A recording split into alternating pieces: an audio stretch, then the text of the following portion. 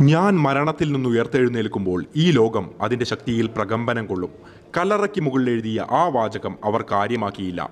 കല്ലറ തുറക്കണം എന്ന ഉദ്യമവുമായി തന്നെ സ്റ്റാലിന്റെ സോവിയറ്റ് യൂണിയൻ മുന്നോട്ട് നടന്നു.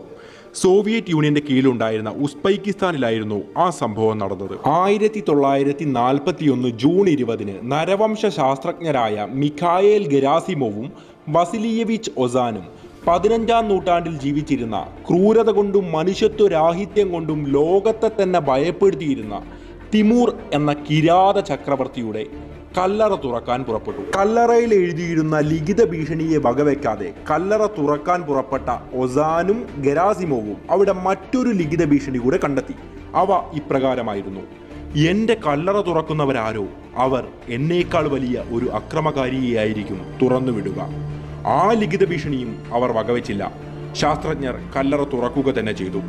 എന്നാൽ ആ സംഭവത്തിന് ശേഷം സോവിയറ്റിന് നേരിടേണ്ടി വന്നത് ഒട്ടും പ്രതീക്ഷിക്കാത്ത ഒരു ദുരന്തമായിരുന്നു. അത്രയും കാലം സ്റ്റാലിന്റെ ഉറ്റമിത്രമായിരുന്ന ഹിറ്റ്ലർ അപ്രതീക്ഷിതമായി ഓപ്പറേഷൻ ബാർബറോസ നടത്തി മോസ്കോയിലേക്ക് ഇരച്ചു കയറി സോവിയറ്റ് യൂണിയനെ ആക്രമിച്ചു.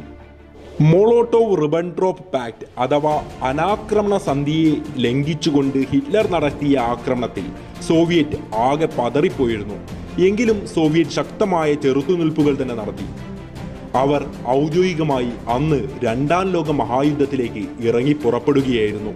കൂടാതെ അവരുടെ രണ്ടേ പോയിന്റ് ആറ് കോടിയോളം ജനങ്ങളെ അന്നവിടെ കുരുതി കൊടുക്കേണ്ടി വന്നു. ഇതേ സമയം തിമൂറിന്റെ കല്ലറ പരിശോധിച്ചിരുന്ന ശാസ്ത്രജ്ഞന്മാർ തിമൂരിന്റെ ആകാരത്തെക്കുറിച്ചും വംശത്തെക്കുറിച്ചുമെല്ലാം സുപ്രധാന വിവരങ്ങൾ കണ്ടുപിടിച്ചു.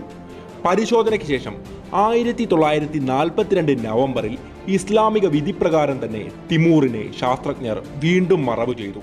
തിമൂറിന്റെ കല്ലറ തുറന്നതും അതിലെഴുതിയ വാചകങ്ങൾ നടപ്പിലായതുമെല്ലാം ഒരുപക്ഷെ തികച്ചും യാദർച്ഛികമായിരിക്കാം എങ്കിലും ചരിത്രത്തിലെ ഈ ഏടിനെ പറ്റി പഠിക്കുന്നവരെ എക്കാലവും അത്ഭുതപ്പെടുത്തിയ മറ്റൊരു സംഭവം കൂടിയുണ്ട്.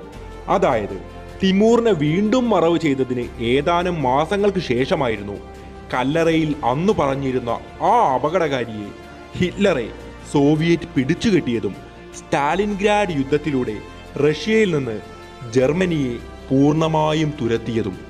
എന്തായിരിക്കും ഈ കോയിൻസിഡൻസുകൾക്ക് കാരണം എന്ന് ഇതുവരെ ആരും കണ്ടെത്തിയിട്ടില്ല.